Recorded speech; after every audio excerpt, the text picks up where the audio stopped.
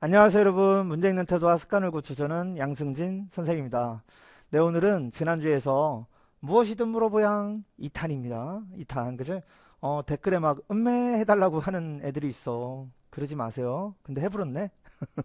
네, 어, 오늘 주제는 선택 과목 학습 비중에 대한 고민. 아 요것도 고민 댓글 중에 상당수 고민을 하더라고요. 어, 선택 과목 학습 비중을 어떻게 해야 합니까 질문을 많이 하더라고요. 네, 정답은 당연히 뭡니까? 뭐 정답이 뭐겠어요, 당연히. 우리가 수능에서 치르는 과목은 누구나 세 과목이잖아. 누구나 세 과목이잖아. 수학원, 수학2, 선택 과목, 그치? 그러면 당연히 기준은 뭐겠어요? 3분의 1씩, 그치? 어, 이거야. 수원하듯이 수투하듯이 선택 과목도 3분의 1의 비중을 가지고 하는 거에서 출발하는 거야. 이 출발을 가지고 비중을 정하는데 개인적으로 이제 이런 친구들이 있겠지. 선생님, 저는 유독 수원이 약합니다. 모의고사 하면 맨날 수원만 틀려요? 이럴 수 있잖아. 그러면 그때는 수원의 비중을 살짝 뭐야? 높이는 거지.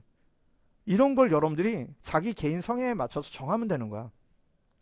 근데 대다수 애들은, 대다수 애들은 수원 수투보다 선택에 약하더라. 어, 선택에 약하더라. 왜? 왜냐면 이래 공통에서는 한두 개 틀리는데 미적에서는 3점 분항도 잘 못 풀어요. 그래서 뭐야? 아 미적은 문제가 너무 발상적인 것 같아. 문제가 미워. 아니야. 이런 생각을 하는 생각 자체가 발상적인 생각이에요. 아시겠죠? 빡! 어, 아니야. 그러지 않아요. 음. 뭐, 왜 이런 이 현상이 벌어지는 겁니까? 어, 이 현상은 당연한 현상이죠. 왜냐면, 여러분이 공통은요, 잘 생각해 보세요. 어떤 친구들이 심지어 중학교 때 공통 이미 끝낸 애들도 있어. 그리고 대다수는 고1, 고2 때 공통을 이미 하죠. 어, 많이 보잖아. 많이 봤잖아. 그지? 근데 선택은 고3 돼서 처음 봐. 이런 친구들도 꽤 있거든. 꽤 있어. 그러니까 사실은 이름을 잘못 줬어. 이름이 왜 선택이야? 이름을 선택하니까 왠지 선택을 안 해도 돼, 안 해도 되는 느낌? 그래서 여러분들이 조금 뭐야? 소홀히 한다? 어. 그러니까 이 선택 과목 학습의 비중을 뭐야? 이 정도만 해도 되겠지. 그러니까 선택 과목 아니겠어? 이런 오해. 어, 완전 오해야, 그지? 아, 완전 오해야, 그지? 그냥 맴매지, 그지? 아니, 몽둥이야. 아니야, 그지? 그래서 비중은 어, 동등한 수원수투 선택 과목이 동등한 입장에서 출발하는 거고요. 그 동등한 입장에 출발했을 때 자기가 약한 과목에 좀 더 시간 투자를 하는 느낌. 그지? 이게 일단은 정답일 것 같고요. 그리고 어, 선택 과목은요.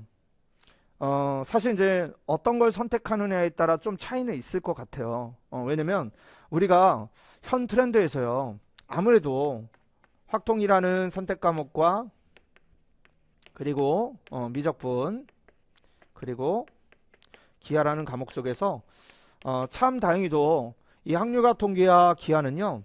어, 뭐야 극심한 변화를 겪지 않고 있어요. 그러니까 어, 어떤 걸 풀어도 과거의 어떤 거라도 크게 경향이 바뀌지 않고 있습니다. 어, 그러니까 뭐 그냥 강력하잖아. 확통 뭐야? 확통 뭐야?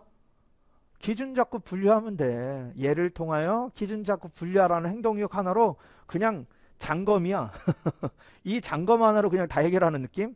기아 뭐야? 뭐긴 뭐야? 위치 관계 확인하는 거야. 그지? 정해진 위치 관계. 움직이는 것과, 그지? 변하는 것과 고정된 거 구별하는 거. 그지? 이거야 그냥. 음, 그게 언제나 변화가 없고요. 그래서 그냥 문제의 형태 포장만 자꾸 바뀌는 거야. 그래서 과거에 나왔던 문제가 또 재탕되고 재탕되고 재탕돼서 그렇게 평가 문제가 나오고 있어요. 그러니까 여러분들이 뭘 해도 돼. 어떤 문제를 풀어도 크게 뭐 그렇게 경향이 벗어나는 거라 그러지 않아요. 그러니까 여러분들이 그냥 하던 대로 하면 돼. 이거는 그제. 근데 문제는 미적분은요? 미적분은요? 뭐야? 그냥 그죠? 잔터네, 그치? 어, 어떻게 하면 좋아, 그치? 맨날 나오던 문제가 갑자기 삭제가 되고, 그죠? 아, 극심한 변화를 겪고 있어요. 그래서 올해 역시나 또 극심한 변화가 어떻게 나타날지, 어, 누구도 사실은 단정 지을 수 없습니다. 그래서 이 미적분의 경우는 열린 마음으로, 어, 여러분들이 다양하게 여러분들이 준비를 해야 되는데, 어, 문제는 뭐냐? 안 나올 게 뻔한 옛날 형태의 문제로 시간 낭비를 해서는 안 된다라는 거야. 어, 그래서 미적분은 아무거나 풀잖아. 어, 그냥 시간을 낭비할 가능성이 높아요. 어, 그래서 얘는 여러분들이 어, 적어도 의식을 갖고 해야 돼. 그래서 오늘 그 얘기를 드리려고 하는 거고요. 아직도 막 선택 과목에 대한 이제 미적을 했는데 뭐 점수가 안 나와. 그러니까 뭐야, 아, 다, 다시 바꿔야 되나? 뭐 이런 고민하는 애들이 지금 이 순간에도 있다라는 거야. 뭐야, 몽둥이 빽빽빽 토리알이죠? 어, 아니야, 아니야. 널 믿어. 지금은 그럴 시기가 아닙니다. 이미 여러분 선택을 했고, 했다면, 어, 밀고 들어가야죠. 내가 선택한 게 옳은 길이야. 라고 생각하고, 어, 열심히 하셔야죠. 그랬을 때 학통위가 기하는 기존대로 그지? 학습을 하시면 되고 어 근데 미적분은 미적분은요 어 달라 어, 주의인고 그지? 그래서 어쨌거나 선택 과목도 어, 수원 수투 학생만큼 공부를 하는 게 기본기입니다. 근데 특히 미적분은요 방향 제시를 할게 아까 얘기했잖아 많은 친구들이 어 선생님 저 미적분 고3 와서 했어요 고2 때 잠깐 했는데 기억이 하나도 안 나고요 이런 친구들이 많아 그러니 당연히 뭐야? 당연히 3점짜리도 때로는 잘 안 풀려. 그러니까 자꾸 이제 뭐야? 아, 다시 학통으로 가야 되나? 기하러 가야 되나? 이렇게 막 그지 그런 거잖아. 어. 그러면 안 되죠. 여러분 3점은요.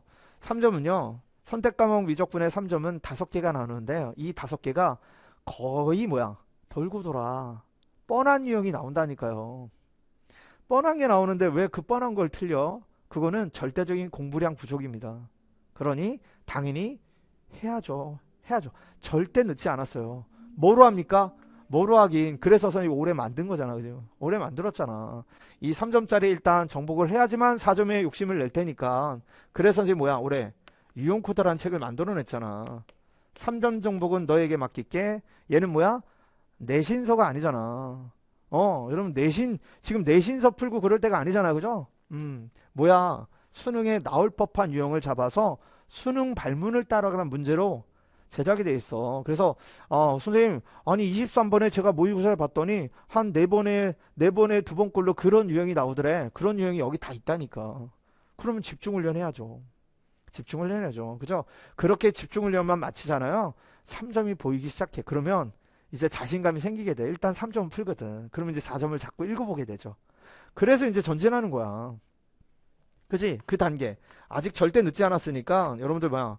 그렇게 극복하셔야지. 어, 하셔야 되고요. 4점 역시나 뭐야. 그래. 4점 코드가 괜히 있는 게 아니잖아. 왜? 어, 뭐야. 어, 역사를 청산해야죠. 그지? 과거는 잊어. 옛날 건 이제 뭐야. 그럴 때가 아니야. 그죠? 핀셋으로 제거당한 걸 아직도 공부하고 있니? 아니지. 그지? 그래서 가장 최근 트렌드에 맞는 그치? 현 트렌드에서 나올 수 있는 것들에 대한 훈련을 하셔야 되는 게 맞고요. 어, 결국 이제 이걸 양적인 걸 늘려야 되잖아. 그래서 이제 뭐 했어? 사종 코드를 시즌 1, 2, 3까지, 그지? 특히 시즌 3 시공사, 그지? 시공사라는 애칭을 가지고, 선지 뭐야? 여기에 특히 미적분은요, 20회분이 실려 있어.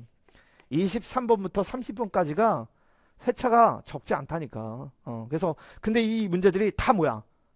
완벽한 행동력을 배울 수 있는 문제들이야. 그냥 문제가 아니라고. 어, 그래서 그 행동력에 대한 거 여러분들이 이 20회분 하고 나잖아. 달라져. 문제를 대하는 태도가 달라져. 아, 문제는 그냥 이해하면, 이해하는 걸로 끝나는 게 아니구나. 그냥 내가 풀 수 있으면 되는 게 아니구나. 그게 아니라, 그죠?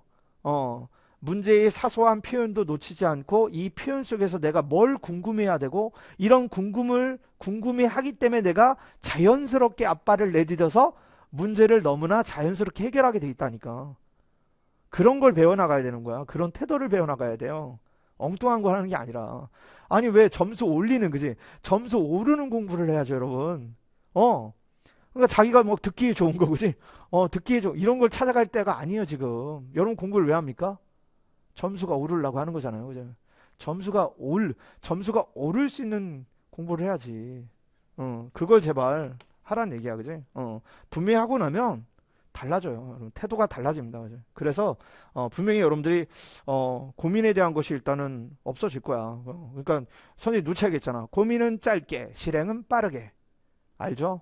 어, 아직도 고민하고 있고 그러면 안 됩니다. 어, 그거예요. 그죠? 그래서 아, 선택 과목 역시나 충분히 지금은 어, 열심히 해야 된다. 변수가 있는 어, 과목일 수 있고 어, 공통에 비해서 좀 중요도가 떨어져 소홀히 해야 되겠다. 그러면 이제 점수도 널 소홀히 할 거예요. 그럴 수 있다. 어, 그러지 마시고요. 어, 그렇게 해서 네 오늘 선택 과목에 대한 비중은 그렇게 안내를 좀 드려보고요. 다음번에 그지? 어, 네. 다음 주제는 또 그지? 어, 고민 댓글에 엔제랑 실무의 차이에 대한 질문이 참 많더라고요. 요거는 3탄에서 또 만날게요. 오늘은 여기까지입니다. 바이바이.